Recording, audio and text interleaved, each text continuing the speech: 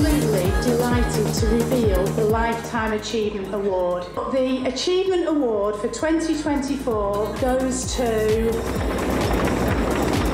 This person has championed Burnley for several decades and yet still delivers an incredible amount of energy to the borough and its businesses when they would be forgiven for taking a step back and winding down.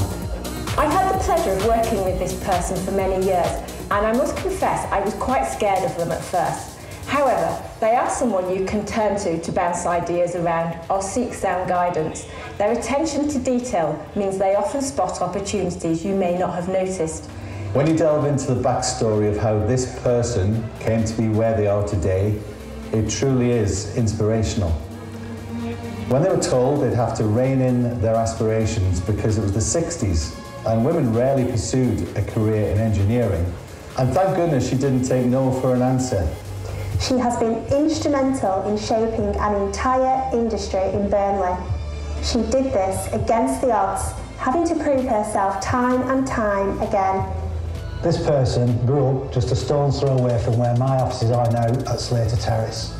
And they really are a force of nature for the benefit of our borough. This person's impact on the region has been incredible. It really is immeasurable.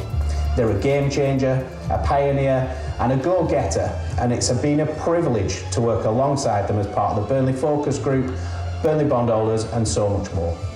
When asked, I jumped at the chance of contributing to this video. This person has been instrumental in driving my business forward.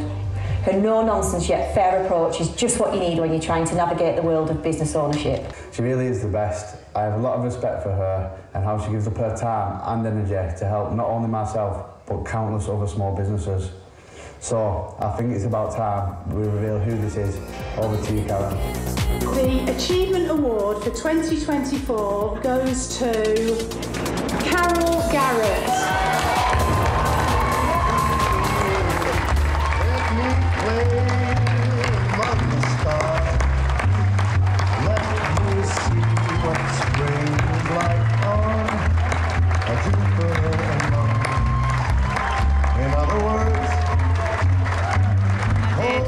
Didn't know it was coming, a completely short Lifetime Achievement Award. I can't believe it. I, I'm speechless. Uh, It's not right often I have nothing to say or I, I can't say because I'm quite emotional.